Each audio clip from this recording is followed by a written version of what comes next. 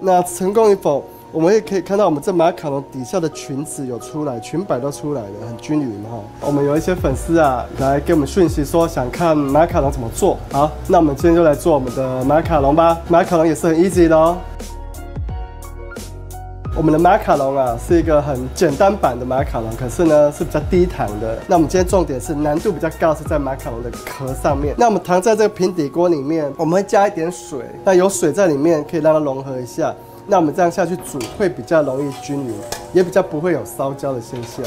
那另外我们把桶子里面装的是蛋白。我们也进到我们的一个机器上面，要备着。那待会我们在糖的部分哦，煮到一百一十度的时候，我们就会开机打蛋白。那一百一十度到一百一十五度，大概可能要或许一分钟左右，那蛋白就稍微会打起泡了。那这时候冲就会刚好，因为我们在冲的时候，蛋白是要稍稍打起泡。那另外一个盆子哦，我们放的是杏仁粉跟低粉哦。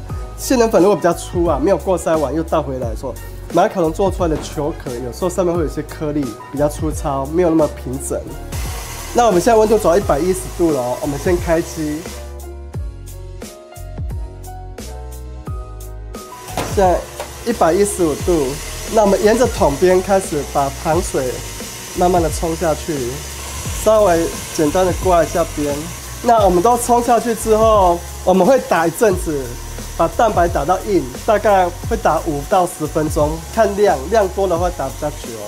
要打到什么程度？另外一个方法了解就是冲下去之后，我们会摸桶边，会觉得非常的烫哦，烫死人的烫。打打到我们现在摸它的时候是温的就可以了。第二个，打到蛋白已经感觉雾雾的，我们所谓的干性发泡，大概这种程度就可以了。可以打偏硬没关系。那现在还是蛮烫的，它开始会越打越温。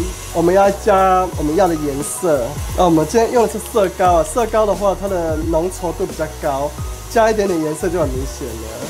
我们的蛋白因为加了色膏，整个都变成一个红色的哦。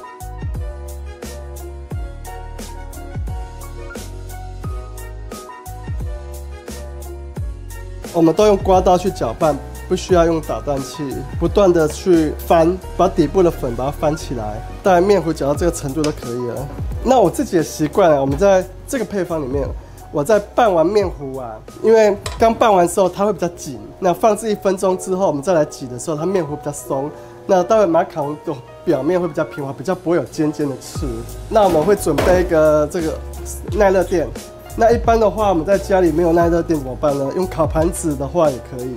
那尽量我们在挤面糊的时候，每一个大小尽量是一致，那这样受热烘烤的时候才能同时间出炉。垫着铁盘下去烘烤。我自己这边的方式是，我会烤八分钟，时间到了之后，把下面的铁盘抽掉，再烤十二分钟左右。那目的抽铁盘的原因是因为它不会一次把它冲破，马卡龙的球壳才会稳定。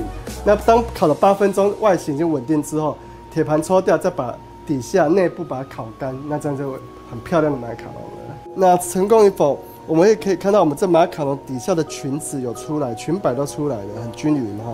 那表面呈现一个比较平的一个状态，就是一个成功的一个马卡龙。那内馅的部分的话，就依照各位的想法创意，其实很多方式都可以去做，果酱啦、卡士达酱，其实都可以的。OK，那我们今天马卡龙是不是很 easy？扫描 QR Code，不要错过精彩内容。按赞、分享、订阅风传媒小铃铛开起来，一起来跟风，开起来。